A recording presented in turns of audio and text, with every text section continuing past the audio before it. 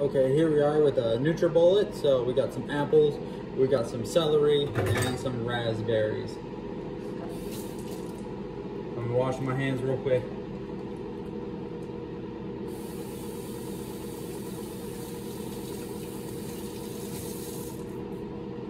All right, we're gonna begin. I'm gonna turn it on. There's two settings. There's a low and a high. I've been using the low setting. I'm gonna put some apples in.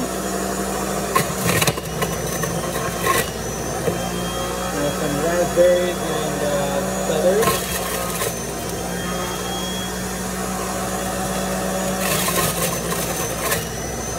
More apples.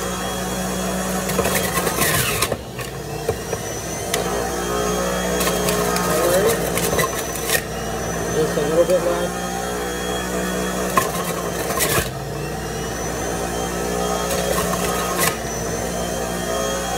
Turn it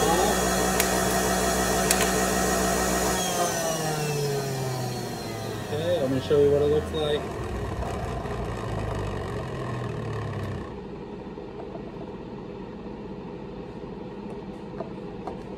Okay, here we are. Looks good.